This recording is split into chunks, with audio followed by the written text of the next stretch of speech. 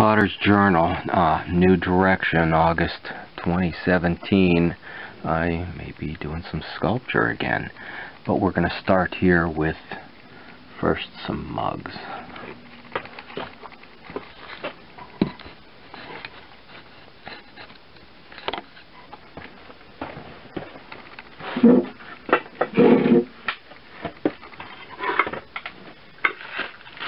And um, I've got a board done, but I decided um, I need two more.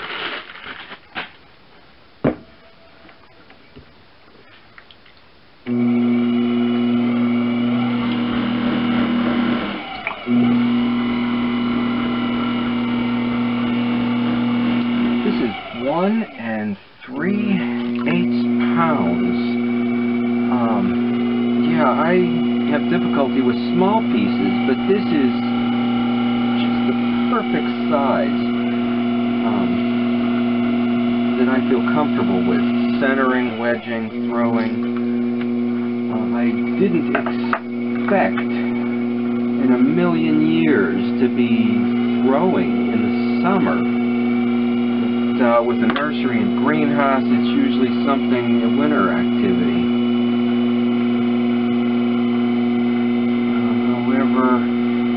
A few things. First, uh, my apprentice, my niece, with the um, henna patterns. I did a series for her to decorate. And then I knew I'd be working with my historic village, um, Southside Historic Village in southern Beaver County. And I knew I would do the week there. Um, that was, uh, yeah, quite productive this year with a hundred pieces made and demonstrating and talking to people at the same time.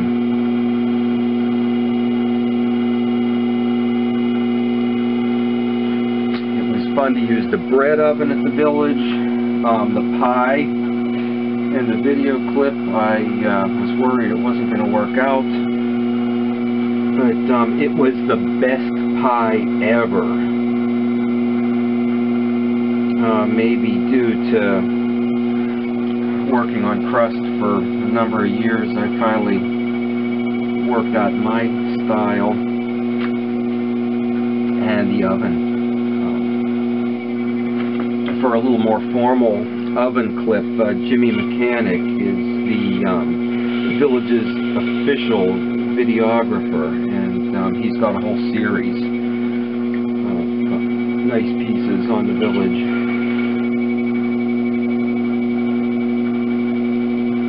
I was just set to um, think about examining uh, which I've always done to begin with, a series of uh, pots based on historic designs. When leaving the farmer's market on Saturday, uh, another artist approached me real quick and said, do you have any musical pieces? Uh, her theme for uh, Sewickley Gallery Walk September is around the music festival.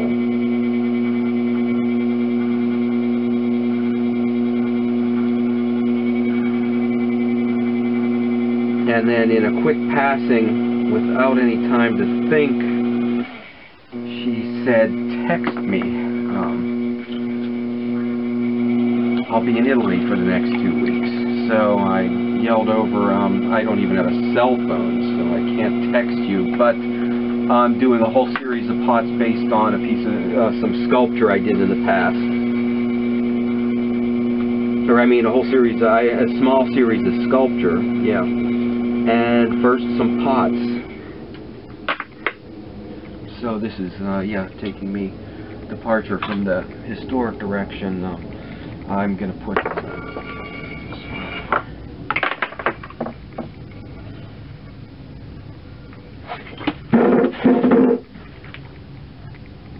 Okay, yeah, I don't know why we're doing two more, maybe just to fill the board.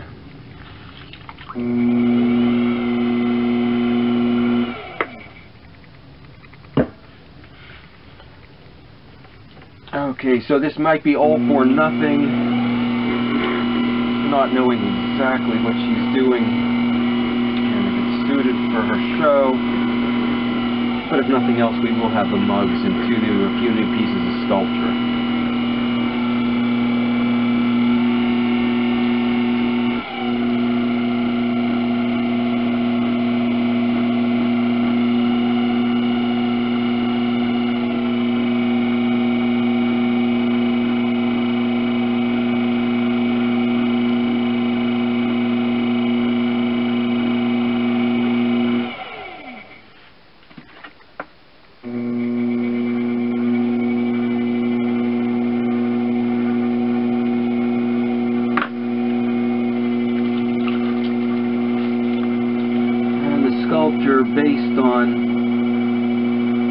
Musical instruments, uh, some such thing. Um, should somebody not come around with an unlimited budget and uh, wanting a large piece of sculpture more suited to outdoors, I'm going to try to put a similar um, design on the side of the pot.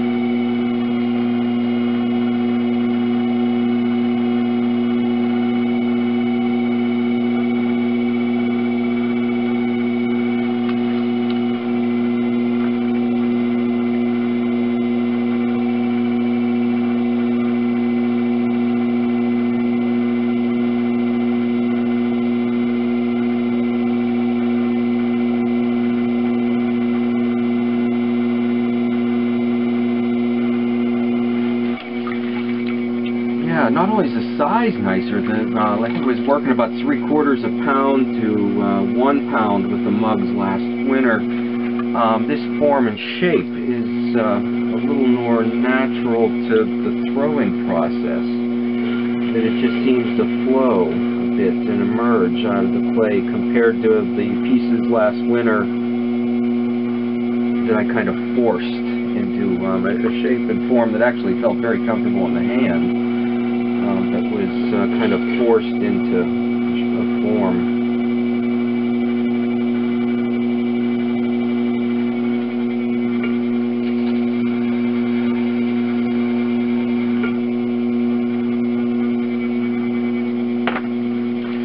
And sponges, yeah, look at that.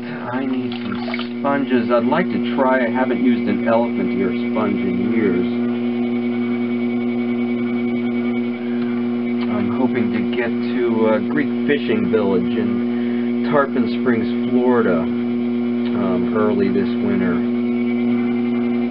And pick up some uh, natural sponges.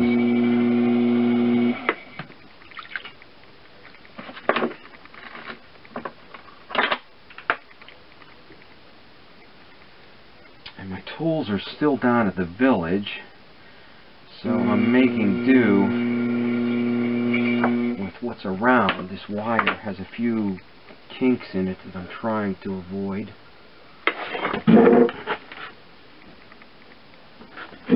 Okay, so we got that board apart.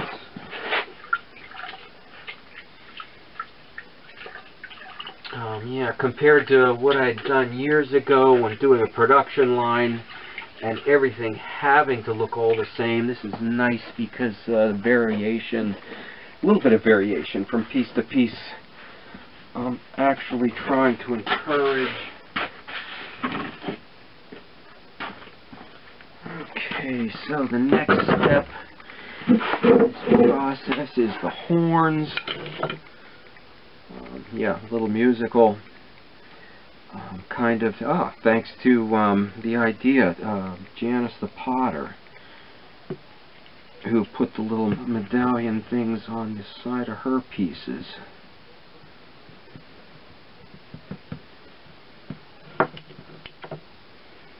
Yeah, Janice the Potter, hello from Florida. Okay, so I do the top part of the horn, put a few bends in it, and the part where the music comes out. And just push that on there. An opening with metal or a wooden tool. Widen that out a bit more. And one, two, three pokes. And then, let's see. Most of these were uh, these were done last night, except for that one. And um, and still very wet. But I think it's probably best to attach them while very wet. Okay, smooth the bottom.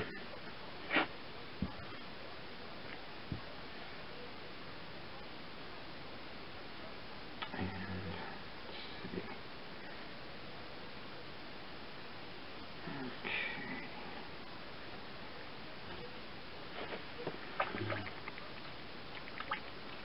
Okay. Yeah, all my tools are done. The village, I had to use a new slip bucket, a new um, everything. Not having a backup set. Okay, I'm just since the, the consistency of the clay and uh, and the the semi-dry pot is very similar. I am just slipping this. I'm not scoring it.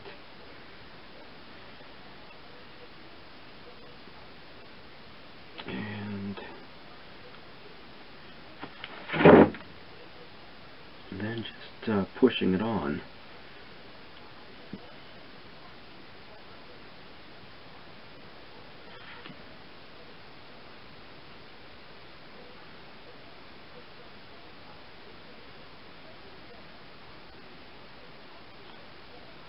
We'll see how this works. There may be some uh, cracking or separation in the firing, but I'm hoping it'll be okay. And then we'll get that uh, opening again.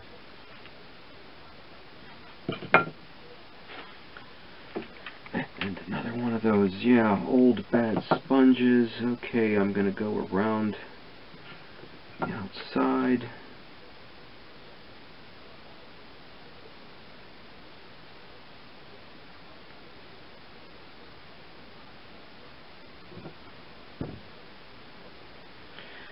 Okay, so this is still very wet, so I'm going to let this dry and um, upside down before I put the handles on.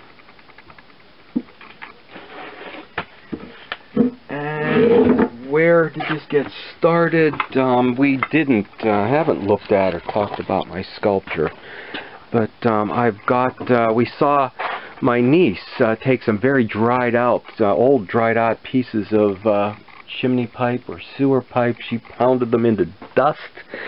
But, um, let's see. Here, we've got um,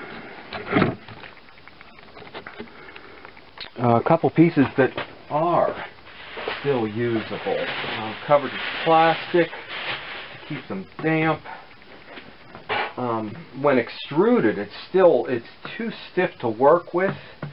So I'm going to take a piece of flannel and see, put it in a bucket of water and squeeze out most of the water it's just barely dripping.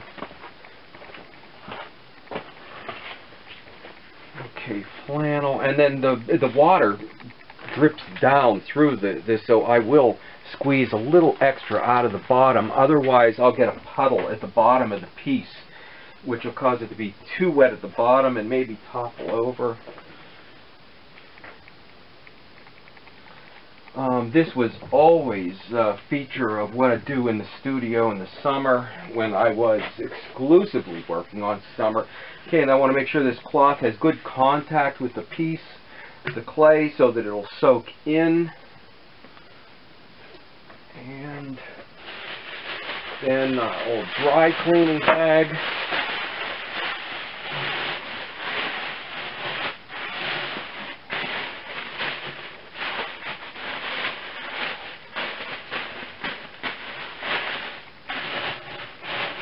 Okay, we'll let that slowly saturate um, until it softens, but not enough so that it'll topple over. and then we'll, um, yeah, get on to working on these pieces. Um, now, what started the show when I told uh, Zoe that I could, here's the rest of those little horn medallions to go on the side of the pots. And the first one on.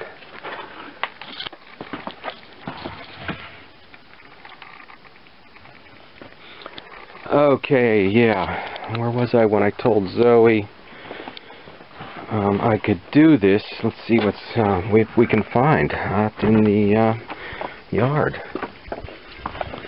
That I could do this. I was thinking about an old piece that's uh, not really displayed well, but uh, a horn.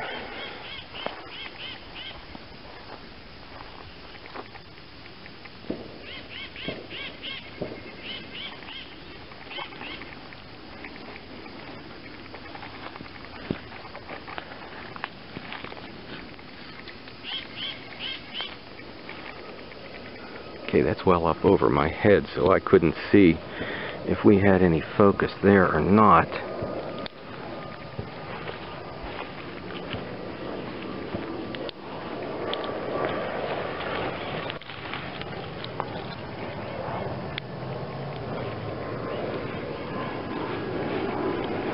Okay, so I don't know that Zoe's got a market for a piece like this at her gallery in Sewickley, west of Pittsburgh, but if not, we'll work on a couple table-size or indoor pieces of sculpture and some mugs for their jazz and fall gallery walk. Alright, stop back and see if I can do this.